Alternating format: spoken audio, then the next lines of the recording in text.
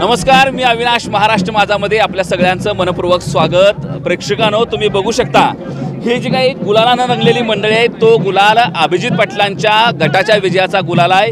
विठ्ठल सहकारी साखर कारखान्याच्या निवडणुकीची रणधुमाळी लागली होती. निवडणुकीच्या प्रचारामध्ये तिन्ही गटांनी त्या ठिकाणी रंगत आणली होती. काल सकाळी आठ वाजल्यापासून या विठ्ठल सहकारी साखर कारखान्याच्या निवडणुकीच्या मतमोजणीला सुरुवात झाल्यानंतर जवळपास आत्तापर्यंत देखील निकाल अजून अजून देखील स्पष्ट झाला नसला.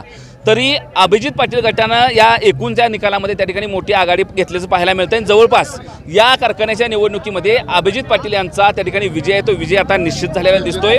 फक्त अधिकृत घोषणा त्या ठिकाणी होणं बाकी आहे.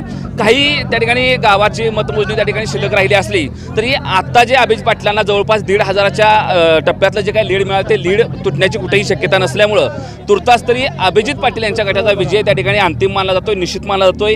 ही पंढरपूर तालुक्यामध्ये अभिजित पाटील पर्वाची नवी सुरुवात मानली जाते. अभिजित पाटलांची नवी पहाट मानली जाते. आपल्यासोबत काही कार्यकर्ते आहेत. आपण कार्यकर्त्याशी बोलूया. जाणून घेऊया की त्यांच्या मनामध्ये नेमक्या काय भावना आहेत. जवळ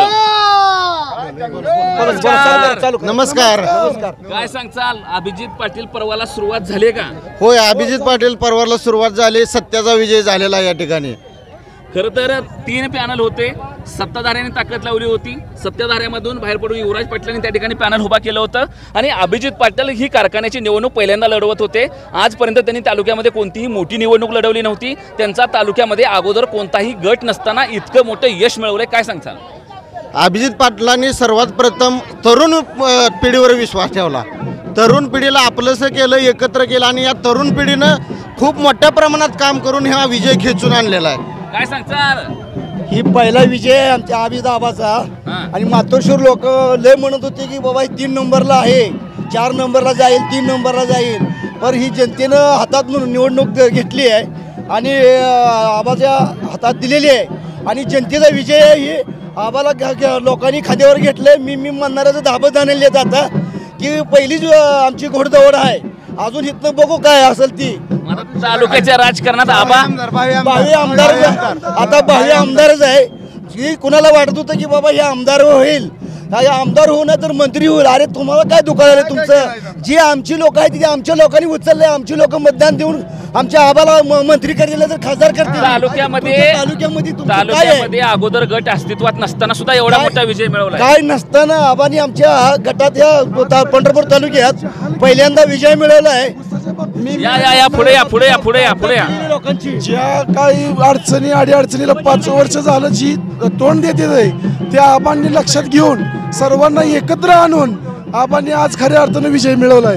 आणि जे काही शेतकऱ्यांच्या अडी अडचणी इथून पुढे असणार आहेत ती एकही बघायला भेटणार नाही अशा अभिजित पाटलांच्या पॅनलकडून पॅनलकडून या या या. काय कार्यकर्ते सगळे ही. अस्तित्वाची लढाई केलेली होती यांनी.